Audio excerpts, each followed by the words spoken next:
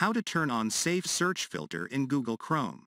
Do you want to enable Safe Search Filter on Google Chrome? Google Safe Search feature automatically filters the inappropriate content from the search results across websites, images and videos.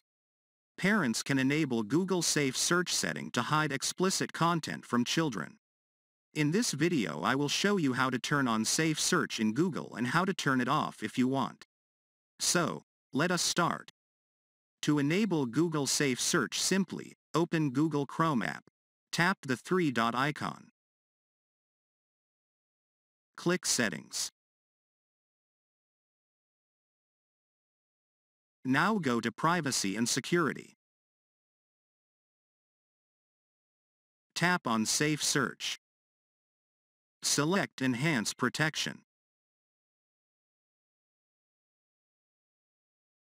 Now go back to the previous menu.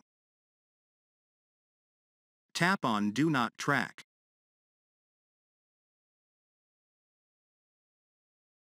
Turn on. So, this is how turn on Safe Search Filter in Google Chrome. Thanks for watching this video.